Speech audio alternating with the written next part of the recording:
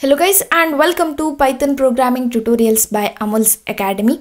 So today in this tutorial we are discussing about a pattern program and this pattern is different from the previous patterns because in this pattern we are combining two characters in a single pattern. So this is our today's pattern and here we can see we are printing star and character A together in this single pattern. So we'll see how to do this. So for this first we need to open the python file and in the python file first we need to take the input from the user. We'll ask the user to enter the number of rows and we need to store that entered input. So for that I'll take a variable. You can take any name so enter the number of rows. Here I am using Python 3 and input function in Python 3 by default take input as string value. But here we want number of rows that is the integer value. That's why here I used int function which will convert entered input to integer form and it will store that in variable n. So similar to the previous pattern programs we need nested for loop here. First we need for loop for row here we want to print our character in different row and column. For that we need nested for loops and first we'll write the for loop for row. You should mention for I'll take variable name as i. I'll use range function. Here I need to mention how many rows I want. Here we ask the user to enter the number of rows, right? That means we want n rows. So I'll take the range as 0 to n. Here if you want, you can take range as 1 to n plus 1 also. If you take row as 0 to n, so that means the first row will be 0, 1, 2, 3.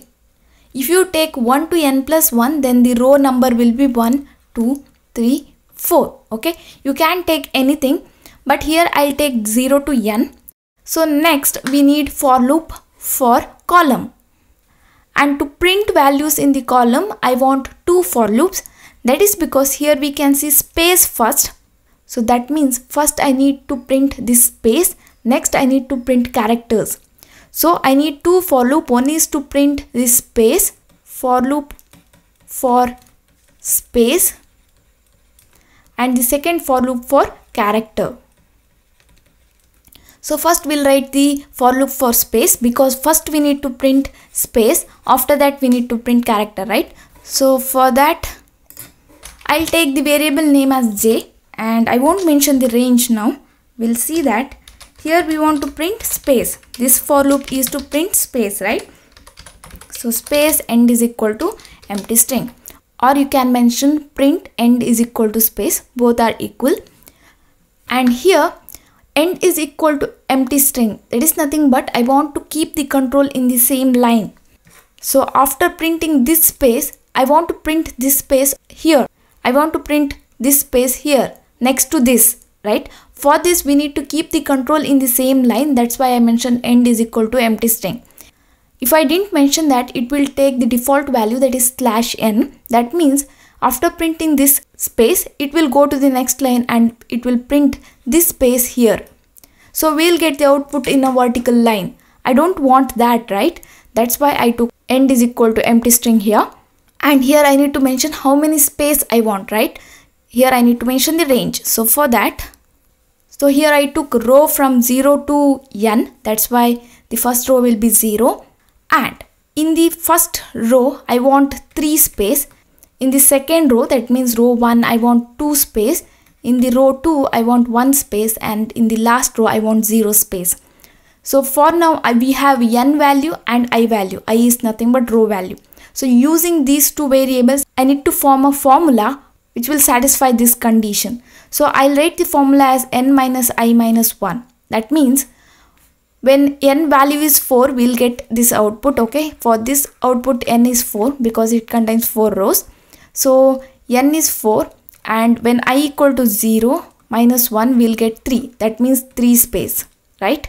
And for this, n is 4, i is 1 here so we'll get 2, so 2 space.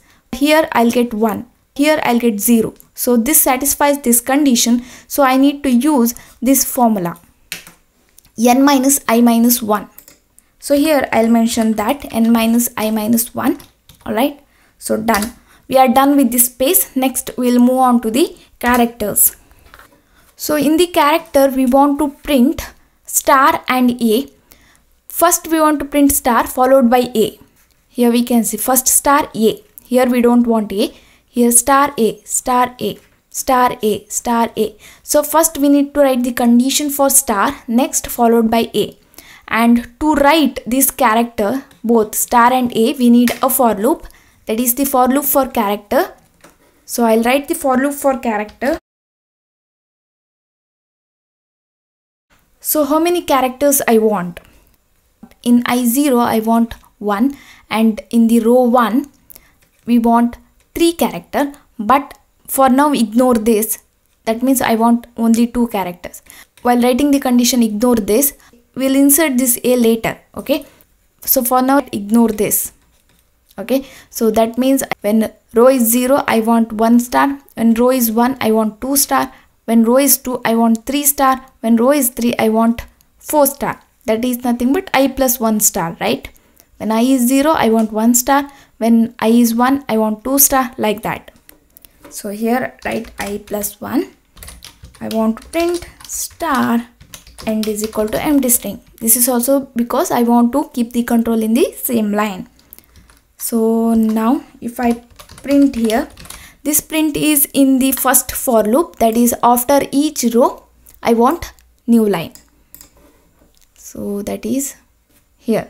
After printing the character in row 0 i want to print row 1 in the new line. I want to print the characters in the new line right? So for this i took print function here. So if i save this and run this we'll get this pattern now okay? So this is the code for this pattern. I think we already discussed about this. Now i need to include a between these stars right? So for that so here in the row 0 i want 0 a. Okay? I don't want any a. In row 1 i want 1 a. In row 2 i want 2 a. Here and here. In row 3 i want 3a right? Here here here. Okay? So to do this what i'll do is i'll take a variable called count and i'll initialize it to 0 that means this is the count of a. In row 0 i want 0a in row 1 i want 1a right? This count will be stored in this count variable. And i'll take the condition as if count is less than i then only print a. When row is 0 that means i is 0 i'll take initially count as 0 and i'll check whether count is less than i. So here 0 is less than 0 no. So we won't print any a here. We'll move to the row 1 again i'll reinitialize count as 0 and i'll check whether count is less than i. Now count value is 0 and i value is 1 so we'll get this condition satisfied. So we'll print a here after this star. Next i'll increment the count by 1 here okay so count value becomes 1 so if again i'll check after printing this star if i again check the count. Count value is 1 and i value is 1 so this condition doesn't satisfy. So it won't print a here. It will come to the next condition. So i'll show you that. So here i'll take count as 0 so in the for loop of i at the beginning of this for loop body i'll take count as 0 that means for every row it will reinitialize the count. Okay? Next here after printing star i'll take if condition and check whether count is less than i. If yes then print character a or uh, whatever you want. And end is equal to empty string. And increment count by 1 okay so if i save this and run this here we can see it will insert a between stars okay we'll get this output So we'll see how this code actually works. So initially we'll ask the user to enter the input, okay, enter the number of rows. He'll enter a value, for example, 4, okay. So that 4 will be stored in this variable n. So n value becomes 4. After that it will go to the next line that is for loop for i in range n. So range n that is nothing but 0 to n, n value is 4, 0 to 4. So we'll get range as 0, 1, 2 and 3 initially i value becomes 0 okay so next count is 0 okay fine next for j in range n minus i minus 1 n value is 4 i value is 0 1 so we'll get 3 so we'll get range of 3 that means 0 1 and 2 so initially j value will be 0 it will print space okay? Then control will be in the same line because end is empty string.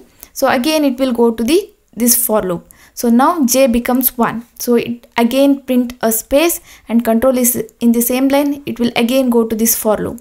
Now j value is 2. So it will again print this space and end is empty string and it will again go to this for loop.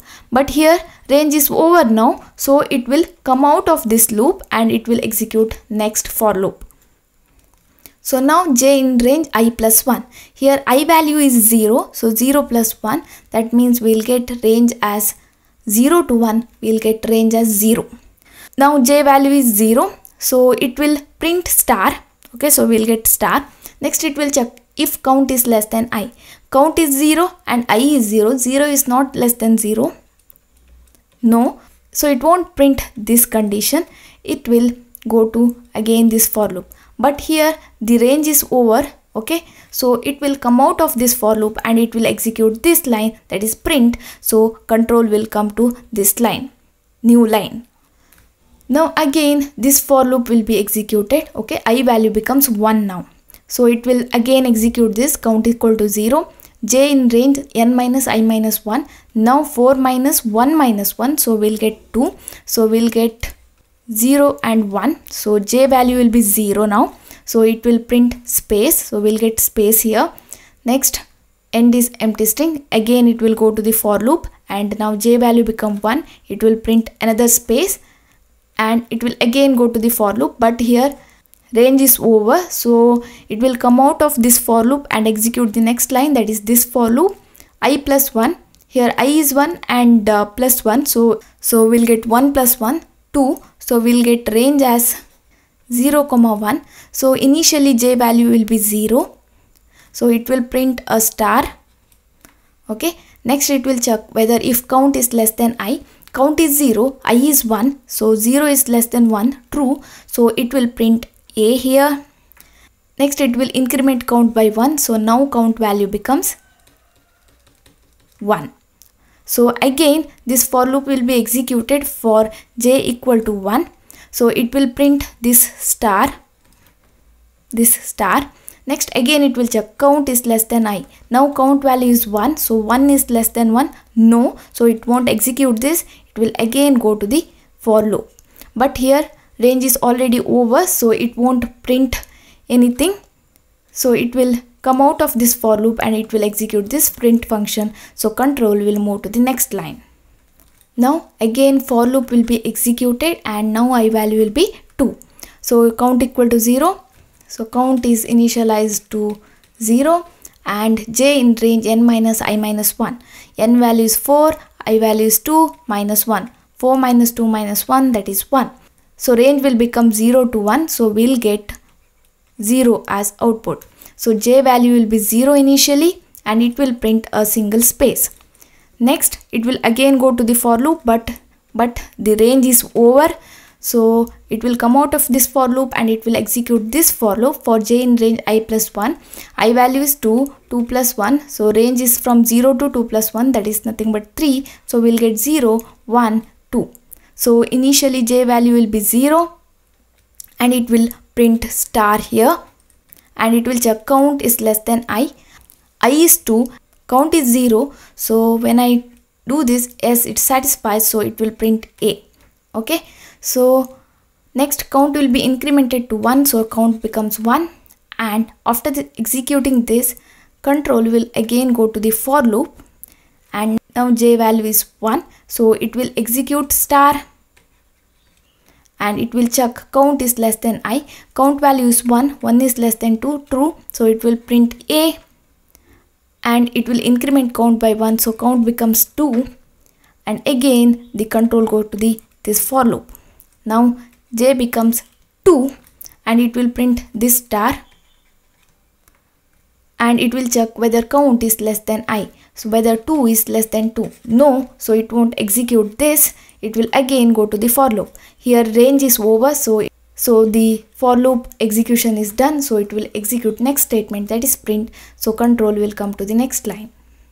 Okay? So in this way it will execute this program.